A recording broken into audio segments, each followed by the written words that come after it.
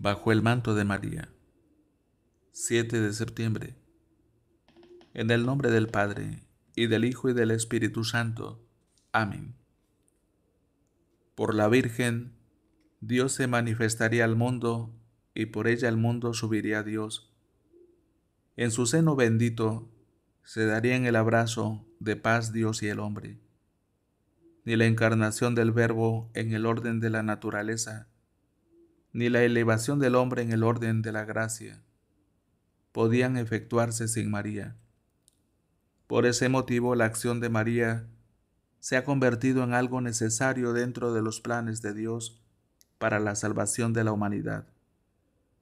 Virgen joven, transmíteme siempre la frescura de tu corazón virginal, para que pueda estar disponible y libre a los planes de Dios.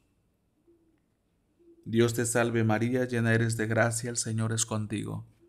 Bendita eres entre todas las mujeres, y bendito es el fruto de tu vientre Jesús. Santa María, Madre de Dios, ruega por nosotros pecadores, ahora y en la hora de nuestra muerte. Amén.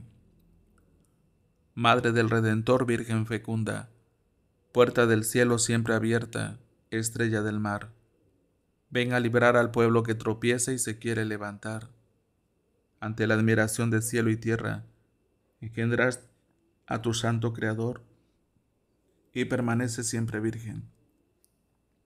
Recibe el saludo del ángel Gabriel y ten piedad de nosotros, pecadores. Acuérdate, Virgen Santísima, que jamás se ha oído decir que alguien haya acudido a ti en busca de socorro y haya quedado desamparado. Ruega por nosotros, Madre nuestra. Dulce Madre, no te alejes, tu vista de nosotros no apartes. Ven con nosotros a todas partes y solos nunca nos dejes. Y ya que nos proteges tanto, como verdadera Madre, haz que nos bendiga el Padre, el Hijo y el Espíritu Santo. Amén. Dulce corazón de María, sé la salvación del alma mía.